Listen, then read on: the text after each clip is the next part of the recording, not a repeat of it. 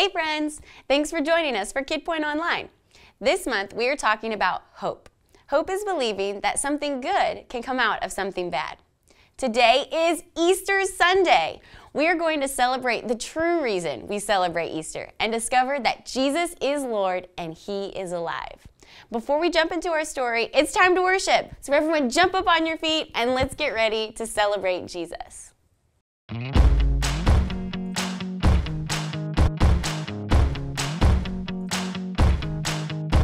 Surrounded, surrounded Your love is everywhere and I'm surrounded. It's got me singing, it's got me shouting.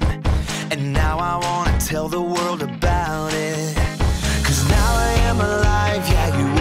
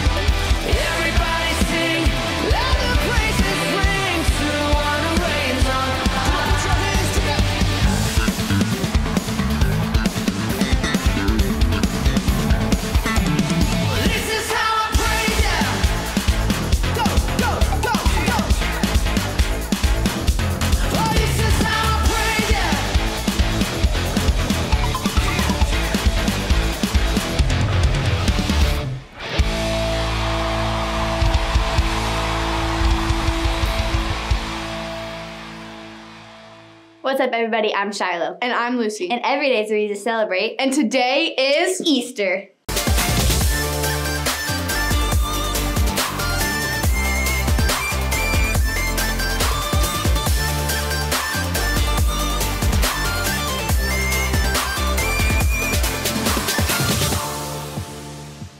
Happy Easter! Today is a very special day. It's filled with chocolate, Bunnies, chocolate bunnies, eggs, Jesus, Easter egg hunts. One time, my little brother karate chopped me for the very last egg. I fell on the grass and got grass stains all over my new Easter dress, and all my candy spilled out, and a squirrel came and stole all of it. All of it. Okay, well, what about peeps? At my house, we have a ton of Easter traditions, like reading a Peter Rabbit book. In my house, we play, play Chubby Bunny with peeps. Well, we thought it would be fun to start our own Easter tradition here in Kid Point. That's right, we decided we're gonna decorate Easter eggs. That's right. Um, Shiloh, where are all the supplies? Supplies? I thought you were getting all the supplies. No, no, no, you were supposed to get the supplies. It's fine. I'll run to Walmart real quick. Oh, she literally meant run.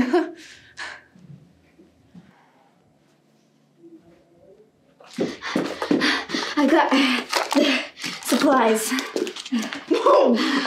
What is all of this? Chocolate syrup, teriyaki sauce, and ranch? What is this? The supplies? The supplies. You're just supposed to get some eggs and some dye. That's it. Not dye, dye. Like dye, food coloring dye. Oh, well, they didn't have any of that stuff, so I got this stuff instead, and I figured we can make anything work. But what are we gonna decorate? I have a solution. I found these two guys at Walmart. Two of our awesome small group leaders. Okay, that's good. But what do they have to do with decorating Easter eggs? We are gonna play a game. Alright, here's how the game works. We'll be decorating two eggheads, I mean, small group leaders, to look as much like an Easter egg as possible using these supplies. When we're finished decorating, Jayana will decide who has the best egg. Coming in at 5'9 in a full head of no hair, it's Mr. Athir. And coming in at six foot with the fullest beard in Kid Point, it's Mr. Blake! It's Mr. Blake! Hey guys, thanks so much for being our human Easter eggs. What? What? Yeah, I kind of left that part out. Let's get going. Okay, ready? On your mark, get set, decorate!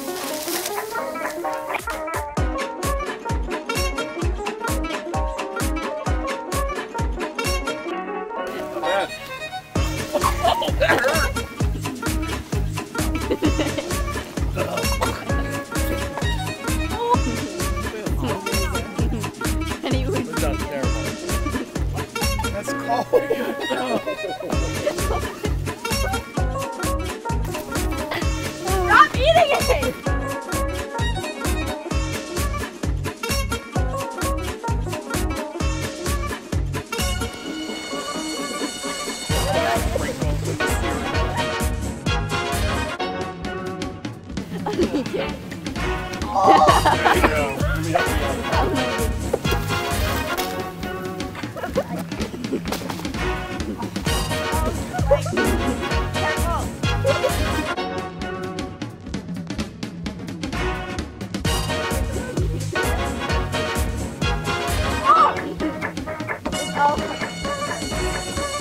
should make it a hat on his head too.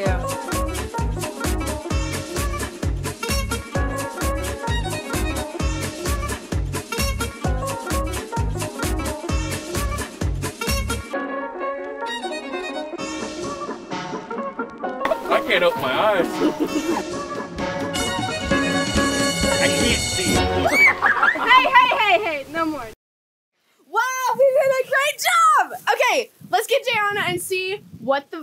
the verdict is. Hey guys! Quick, Jayana, who's the best Easter egg? Easter eggs. All I see is Athir and Blake covered in goo.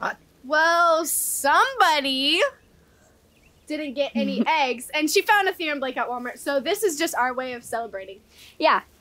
So, who looks the best? Well, the glitter in Blake's beard is astounding. But Athir makes a great blank canvas. Athir and Shiloh, I declare you two the winners. Woo! Awesome. Oh, don't worry, guys. I have something to share that will still give you a reason to celebrate. You've been making some big messes today. Now we're going to make one last mess as we talk about the Easter story and discover that Jesus is Lord and He's alive. Let me introduce you to our final mess. They go by Orangelo and Lamangelo.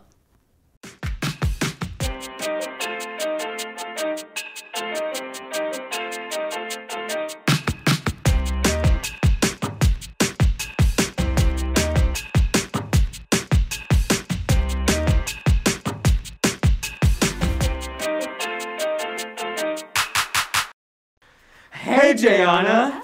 I'm Lamangelo. And I'm Orangelo. We're brothers, twins, actually. We love to eat jello, we like playing the harmonica, and we are always up for a friendly competition of any kind. We go everywhere together, and we never ever leave the house without our backpack. Yeah, we've, we've heard that before. Welcome back. Do you two happen to have any ice cream toppings in that backpack of yours? oh, of course we do. Okay, great. Let me see what I can find. All right. Oh, yes, this is perfect chocolate sauce. Today, it's going to represent sin, though. Sin? Yes, sin. Sin is doing anything that goes against God's plan for His world and your life. Lying, cheating, losing your temper, punching your sister, kicking your dog, you get it. Today, we're going to use our willing volunteers and these white t shirts to represent our life. Ever since the very first two people on earth disobeyed God, sin has been a part of this world. So when we're born, we're already born into a sin stained world. Sometimes we think about those first two people, Adam and Eve, and we say to ourselves, I could have done better. I wouldn't have eaten from that tree. But then we eat that cookie we weren't supposed to eat, hide that thing we weren't supposed to do from our mom, or we totally lose our cool and scream at our sister. In the Bible, Romans 3:23 says that everyone has sinned and no one can live up to God's standard. Sin is whenever we let something else other than God be in control and be the Lord. The word Lord means boss, master, ruler, and center of our life. We all struggle with sin and keeping God at the center of our life. I bet I can find a few items in your backpack that represent things that we might be tempted to let rule us. Dance, karate, golf, basketball. It can easily become the center of your entire life. Sometimes we get too focused on our stuff. We let our desire to earn more, buy more, and have more become our priority and focus. I don't know about you, but I depend on this thing. But instead, I should be depending on Jesus. Mm. If we're honest, when we look at ourselves, what we see is the boss we love most. We don't want anyone else telling us what to do. Mm, yeah. Letting anything else be the Lord of our life is just us trying to forget about this mess. It's us trying to ignore it or trying to wipe it away on our own. But nothing we can do on our own could take away or clean up the sin in our life. The problem is, the mess of sin separates us from God, and it keeps us from having peace with Him. To get all of the sin wiped off requires a payment, a sacrifice to make things right. But it's a price that none of us can pay. It's a mess that we can't wipe away on our own. But God loves us so much that He didn't want us to stay separated from Him. So God sent His Son, Jesus. Jesus lived a perfect life without a stain or blemish and never once sinned, just like this clean shirt. Jesus came to this world and taught people about the kingdom of God. He performed miracles, he healed the sick, fed huge crowds of people, and he even raised the dead back to life. But Jesus came to do even more than that. Jesus never sinned. His life was clean, just like this other shirt. And since he's God, he could give his perfect life as a payment for an infinite amount of sins. The cost of sin is death. And the ultimate reason that Jesus came to this world was to pay the price of our sins. Romans 3:25 says, God presented Jesus as a sacrifice for sin. Jesus paid the price that we couldn't pay. Jesus loves us so much that he paid our price and became sin in our place. He took the punishment for all of our sins on the cross for you and for me. Every sin was poured out on him, and the price was paid. Jesus died in our place, and he was buried in a tomb that was sealed with a large stone. But that brings us to the gospel. Gospel means good news.